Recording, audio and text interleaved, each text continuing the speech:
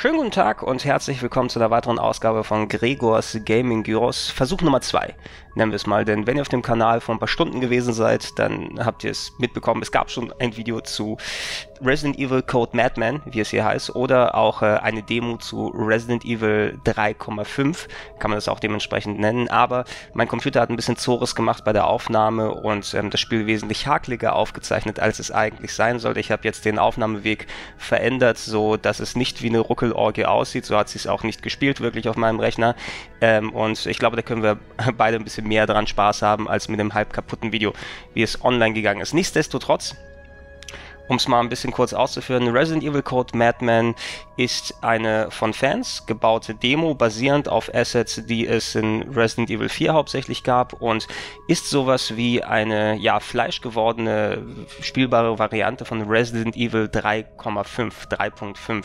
Ähm, unter 3.5 werden äh, die Prototypen von Resident Evil 4 bezeichnet. Es gab ja mehrere verschiedene Varianten, unter anderem eine, die sogenannte Hangman, ja Beta Hangman Demo, äh, oder nee, Hookman war es, ne? Hookman, ne, äh, wo es äh, darum ging, dass Leon S. Kennedy äh, nicht in irgendwo Spanien unterwegs ist, sondern in einem Herrenhaus und von Geistern heimgesucht wird mit so verschiedenen Sanity, Geisteszustandseffekten und basierend auf den Videos, die es dazu sehen gab, die hatte Capcom vor einiger Zeit veröffentlicht haben, die Leute von ja, Shigo Works ne, äh, sich äh, der Assets angenommen, die aus den späteren Spielen waren und selbst eine Demo des eigenen Resident Evil 3.5 nachgebaut. Ihr könnt diese Demo for free runterladen, also solange Capcom da noch nicht reingegrätscht hat, jetzt wo Resident Evil 7 ja auch kurz davor ist rauszukommen.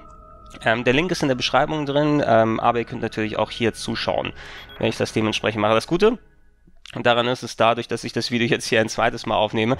Beim ersten Mal bin ich sehr, sehr, sehr herumgestarkst. Und es ist vielleicht ein bisschen anstrengender zum Ansehen gewesen. Ich hoffe, dass ich es jetzt hier ein bisschen besser machen kann. Ja, wie erwähnt, ähm, das Ganze hier basiert auf der sogenannten Hangman-Demo ähm, oder ne, äh, Hookman. Ich versuche mal Hangman zu sagen, weil es ja Madman dann heißt. Ne, Hookman äh, und ähm, benutzt anscheinend wirklich viele Assets, die in Resident Evil 4 gewesen sind. Ich glaube, das muss das Charaktermodell von Leon sein. Und äh, innerhalb dieser Demo, man kann es in den Optionen zwar auch äh, anpassen und umstellen, aber es wechselt, es wechselt zwischen zwei verschiedenen Grafikstilen hin und her. Ähm, du hast einerseits diese, äh, man hat übrigens immer die Panzersteuerung, also dass man so steuerungstechnisch nicht ähm, komplett dann durcheinander kommt, aber du, du hast diese fixen Ansichten und ab und zu mal wechselt das Spiel dann auf die 3D Resident Evil 4 klassische Sicht, wo man die Kamera auch frei drehen kann mit dem rechten Stick. Ähm, mit der A-Taste, ich benutze das Xbox-Pad, kann ich auch laufen. Wenn ich in solchen Szenen bin, kann ich mit dem rechten Stick ähm, meine Taschenlampe dazu benutzen, ähm, ja, hin und her zu leuchten. Das kann man in den Over-Shoulder-Bereichen nicht. Wenn ich die, den L-Button gedrückt halte, dann ähm, zielt Leon mit der Pistole, hat auch das Laser-Sight, also ähnlich wie bei Resident Evil 4, aber ich kann mich dabei auch bewegen, nach links und rechts. Das konnte man bei Resident Evil 4 ja nicht. Ähm, ich habe leider jetzt keine Option gefunden, ich muss mal gucken, ob ich vernünftig damit zurechtkomme, weil das kriegt mir ein bisschen durcheinander, es ist nämlich nicht invertiert, das konnte ich hier nicht innerhalb der Einstellungen umstellen, aber ich glaube, wir müssten damit einigermaßen zurechtkommen.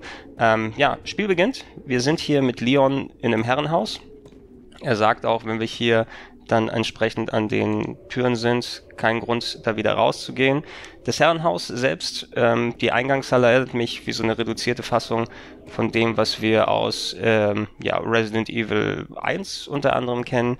Wenn wir uns hier zum Beispiel die Türen angucken, muss übrigens immer dann komplett anhalten, damit ich die Sachen angucken kann. Da hatte ich nämlich auch ein Problem damit. Also wenn ihr mit Sachen nicht interagieren könnt mit der X-Taste auf dem Xbox-Pad, ihr müsst komplett mit dem Charakter angehalten sein und gucken, dass der ähm, Stick auch nicht irgendwie eine kleine Dead Zone hat. Das bedeutet, dass beim Loslassen sich der Charakter nicht automatisch bewegt.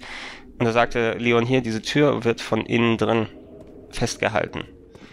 Alles klar, wir gucken einmal hier eine falsche Wand, da ist irgendwas dahinter. Ja, ich kann diese Wand leider nicht aufschießen. Ähm, ich habe übrigens auch die Möglichkeit, wenn ich dann den rechten Button gedrückt halte, dann ist die Taschenlampe zwar weg, aber dann kann ich mein Messer anwenden, je nachdem, wenn ich das dann machen will. Wirklich äh, irgendein Inventory oder äh, endliche Munition oder Sachen, die man so groß finden kann, die gibt es hier nicht wirklich. Ähm, Leon lädt von alleine nach, wenn man genug von der Munition verballert hat. Und das fand ich auch sehr schön. Das scheint ein nicht gewechseltes, recyceltes Asset von einem ehemaligen Spiel zu sein. Ein bisschen Meta mit der Beschreibung. Ähm, wenn ich mich nicht irre, das müsste am Anfang auch gewesen sein, dieses Spiel ist komplett in Unity, gebaut in der Unity Engine, also eine der Grafik-Engines, die man verwenden kann, um selber Spiele zu bauen. Die Unity ist ja, glaube ich, relativ adaptiv, dass man ähm, mit der auch äh, auf vielen verschiedenen Plattformen arbeiten kann, aber die ist eigentlich durchaus performant hier und hat auch sehr viele verschiedene grafische Effekte, die man reintun kann, wie dann eben Licht, Schatteneffekte, Ambient Occlusion, also dass äh, in den Texturen ähm, tiefen Details äh, zeigbar sind. Und das sieht hier eigentlich alles relativ passabel aus. Also es ist natürlich eben kein High-Budget-Game und benutzt dann Assets. Entweder ich kann mir vorstellen, dass sowas vielleicht nicht aus dem Resident Evil ist, aber eine Textur, die man aus dem Internet hat, wo man auch dann entsprechend äh, dann auch hier die, die, die Furchen und alles da sieht. Aber visuell ist es eigentlich ganz nice geworden. Die Steuerung ist ein bisschen hakelig. Nicht nur wegen des... So, genau, diese ist von dem Schlüssel verschlossen, die Tür. Ähm, nicht nur wegen der Panzersteuerung, sondern allgemein eben geringe Dead Zone und hakelt gerne mal ein bisschen hin und her, aber jetzt, wo ich schon einmal gespielt habe, komme ich zumindest einigermaßen damit zurecht. Ja, hier oben ist noch eine große Doppeltür, die aber, glaube ich, ebenfalls verschlossen war. Von innen drin verschlossen. Also bleibt nicht allzu viel mehr für uns über, was wir hier angucken können. Außer die Tür hier. Die genau mit der Aktionstaste geöffnet werden kann. Und ihr hört's.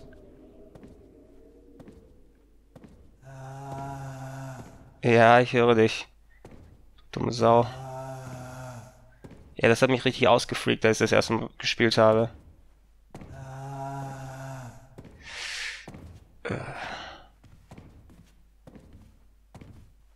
Und guck mal, da ist ein Zombor. Da ist ein Zombor.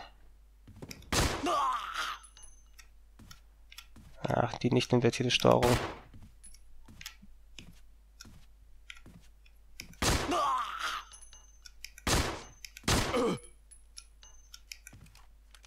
Okay, das war nicht so cool. Aber wir haben ihn umgenietet. Den Zombor. Können wir hier mal unten schauen. A victim to the T-Virus. No wounds. Better write this in my diary. Ja, dann schreib das mal in dein Tagebuch. Aber es sagt ja natürlich, das sieht man jetzt nicht hier so direkt. Wenn wir hier runter gucken, auch. Ich weiß nicht, ob das ein Asset aus alten Resident Evils ist, aber ein Zombor hatten wir jetzt hier. Wir können uns hier ein bisschen umschauen im Raum. Es ist sehr staubig hier. Ich beginne an diesem Ort zu zweifeln. Ein Bücherregal. Die Spencers waren sehr gut äh, äh, belesen. Es anscheinend soll das so wirklich das Spencer Mansion sein von Resident Evil 1. Das war ja die Familie, der, die, deren das Haus gehört hat, sozusagen. Dieser Tisch scheint vor langer Zeit beschädigt worden zu sein. Und hier ist ein zerbrochener Spiegel.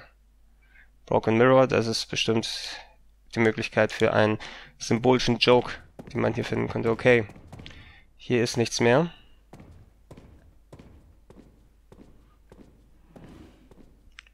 Wir gehen wieder raus. Und guck mal da unten, da ist jetzt, kann ich sogar ein bisschen hinleuchten, ne? Da ist ein Stück Papier, was hier rumrödelt. Da können wir mal schauen was das denn für ein Papier ist. Da ist es.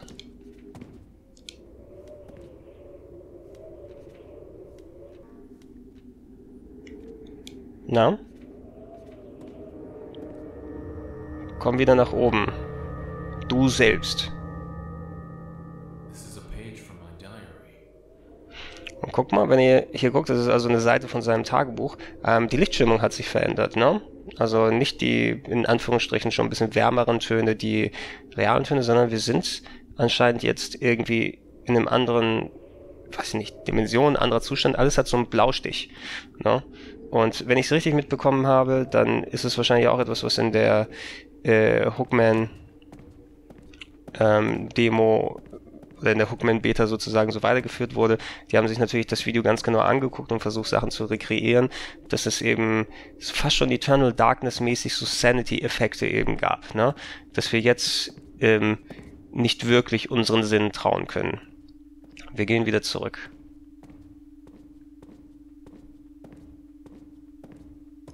So, und hier, oh, nicht das Messer, nicht das Messer. So, dann habe ich nämlich auch Licht.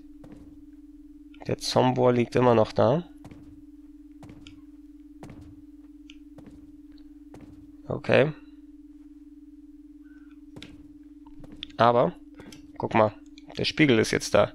Ich hätte gedacht, dass dieser Spiegel mehr beschädigt war. Und ich kann mein Spiegelbild drin sehen.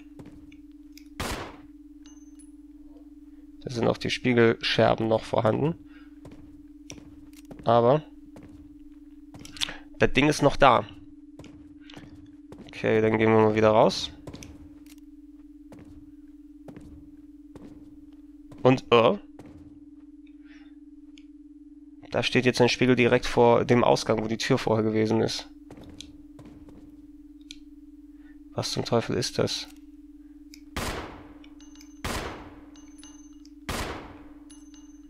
Hm, draufballern hat hier nicht wirklich was gebracht.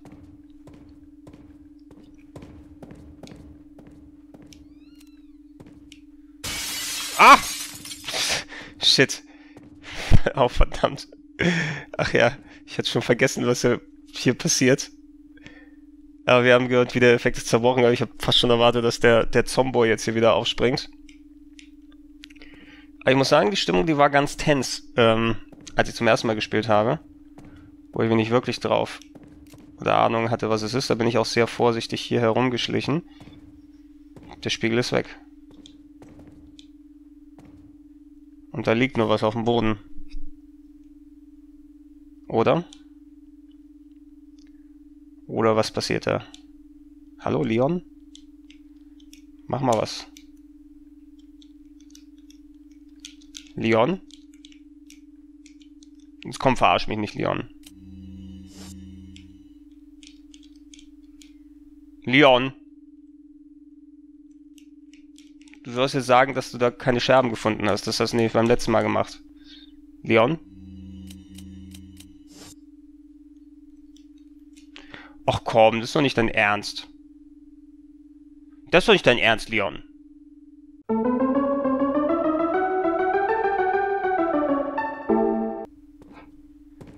Okay, so.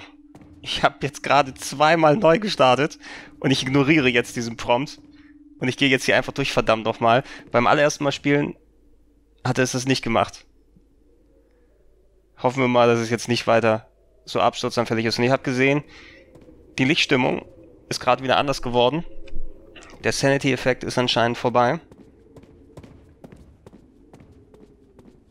Und ich kann wieder nochmal runtergehen. Ja, man merkt das dann eben, wenn die Lichtstimmung dann anders wird, die Farbtemperatur. Guck mal, und da unten, wir haben es von oben ein bisschen gesehen, die Tür, die vorher festgehalten wurde. Na, kannst du die... Guck mal da runter. Also das hat die Türen zusammengehalten. Er hat einfach aufgegeben. Ein weiterer Zombor, der hier unten rumliegt, aber schon ein bisschen verbrannt. Und so weiter. Hat jetzt die Tür aufgemacht, dass wir uns hier umschauen können. Ein weiterer Raum im Herrenhaus das ziemlich, ziemlich weitläufig gestaltet wurde, inklusive einem Klavier. Ich kann mich leider nicht an die Moonlight, äh, Moonlight Sonate, an die Mondschein-Sonate erinnern. Das habe ich auch schon beim ersten Durchspielen angemerkt. Aber Leon hat die doch gar nicht gespielt. Im ersten Resident Evil waren es doch so Rebecca und so weiter. Aber egal, ne? Ein kleines Easter Egg hier mit dabei. Ich weiß eben nicht, wo diese Assets alle wirklich dann herstammen ob das wirklich irgendwo von Resident Evil 4 ist. Aber an sich, ne, die Unity Engine ist immerhin stark genug, um hier auch schöne Licht- und Schatteneffekte zu machen. So erwarte ich das auch ein bisschen von Resident Evil 7 natürlich. Alles aus der Ego-Perspektive schön ausmodelliert. Ein weit gedeckter Tisch. Und eine weitere Tür, wo wir hier durch können. Die sogar offen ist, durch die wir durch können, inklusive einer kleinen Ladezeit. Wo ich mal hoffe, dass es jetzt auch hier nicht abstürzt. Nee, ist es zum Glück nicht. Und der Raum ist auch ein bisschen heller erleuchtet. Sehr vor, wir bräuchten die Taschenlampe eigentlich gar nicht. Können uns hier ein klein wenig umschauen. Aber mit ziemlich wenig interagieren. Ein paar Bilder.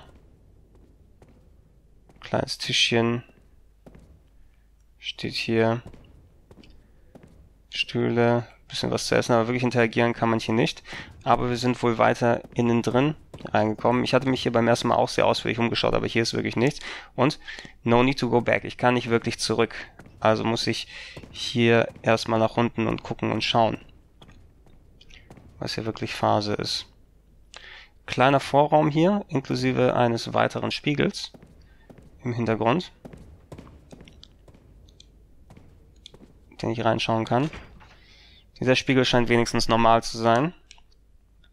Und ein Fenster zum Hof gibt es hier, aber zum Glück ist hier ja auch eine Tür vorhanden, die wir aufmachen können.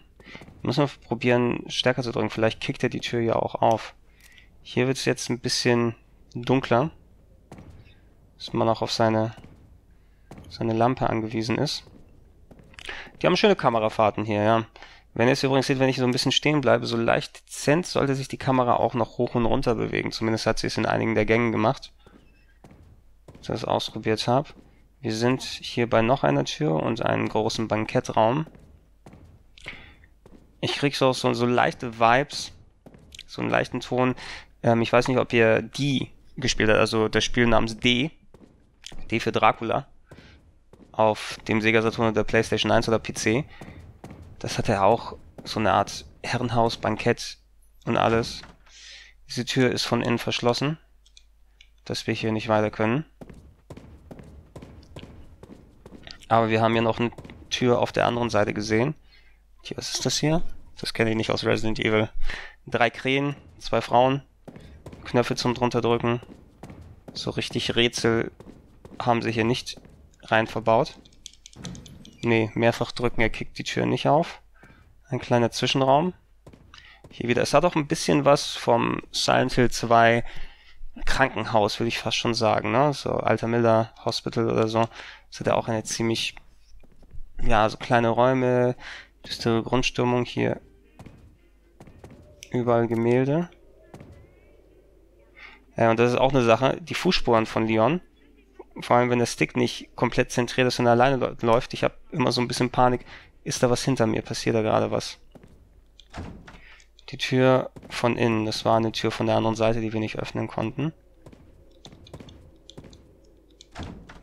Die Tür ist auch verschlossen komplett. Hier hinten steht ein Radio.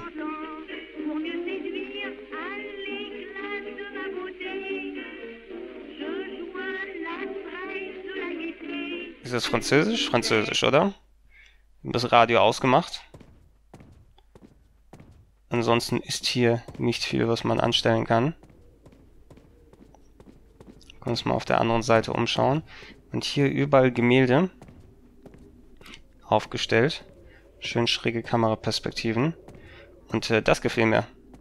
Ein langer Gun, hell durchflutet mit offenen Fenstern rausspringen können wir nicht so richtig, aber ja, die Licht- und Schatteneffekte, das macht mir Spaß.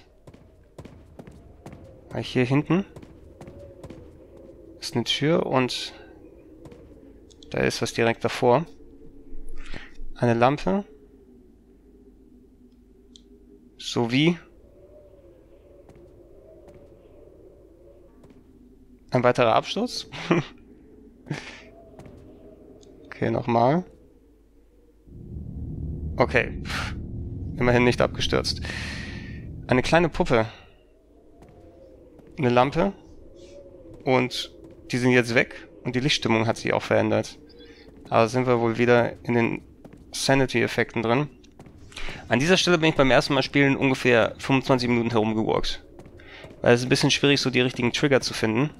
Ich dachte, die Tür, die da hinten ist, kann man noch mal ein bisschen aufmachen, aber zum Glück sind wir jetzt ein bisschen erfahrener. Hat das auch einen kleinen Vorteil in sich.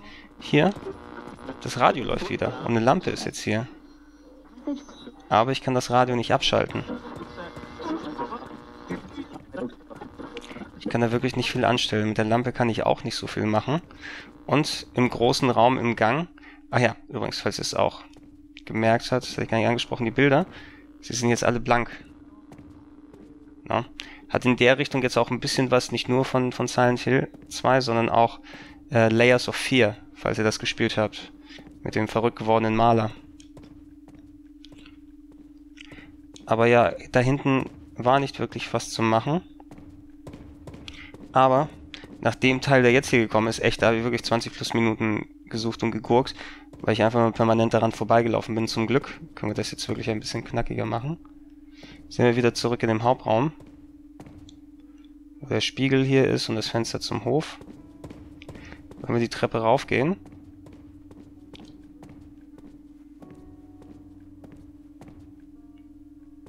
Die Tür hier zurück. Die Tür öffnet sich nicht mehr. Und wenn wir ganz leicht dezent hören, dann hören wir das Piano, das so ein bisschen spielt.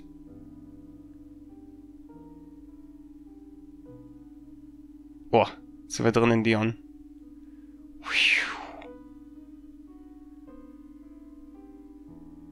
Was mir schlechter als recht so ein bisschen die Mondscheinsonate spielt. So.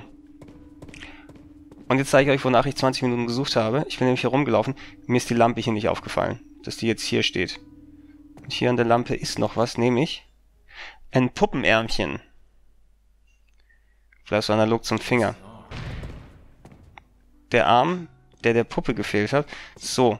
Und jetzt sind wir fast bei Neuland, was ich bisher nicht erreicht hatte. Weil wir haben die Puppe, wir haben den Puppenarm. Tür öffnet sich nicht. Ich habe etwas gemacht, das werde ich jetzt hier nicht replizieren, weil ich bin gestorben dabei. Ja, da gab es ein Game Over für mich und danach hatte ich keinen Bock mehr. Ähm, da. Da ist ein Zettel. An dem, an dem Spiegel. Der sagt, der wahre Spiegel oder der wahre Spiegel wird reflektiert. Und da hatte ich hier raufgeschaut und ihr seht, warte mal, kann man es hier? Da kann man es ein bisschen sehen. Ja, hier. Da ist eine Puppe. Da, neben dem. So kann man es vielleicht, hier kann man es ganz gut sehen, ne? Da ist, da ist eine Puppe über dem ähm, Papier. Und die habe ich im Spiegel angeschossen und ich habe mich selbst umgebracht. Also da, wo dieser Zettel ist, die habe ich angeschossen darüber und ich bin gestorben. Und es war Game Over. Das mache ich jetzt nicht. Für mich ist jetzt auch Neuland. I mirror pain and death. Ich spiegele ah, Tod und Schmerz. Also habe ich mich selbst erschossen. Kann ich die Tür aufmachen? I mirror pain and death.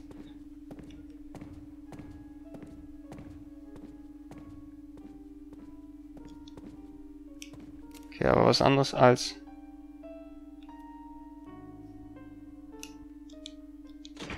The true mirror is reflected. So, es muss doch irgendwas anderes geben, was ich hier machen kann. Da liegen jetzt Bücher unten. I mirror pain and death. Weil ich habe auf den Spiegel geschossen und ich bin gestorben. Sag mal, der Tisch ist auch gar nicht mehr vorhanden, ne?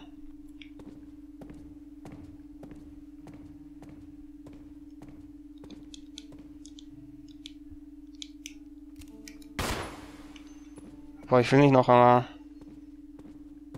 noch einmal schießen und mich umbringen. auf das Ding habe ich geschossen, da war ich tot. Ah, ich sehe fast keinen anderen Ausweg, oder? Vielleicht muss man sich hier umbringen. Und das ist dann der Ausgang der Demo.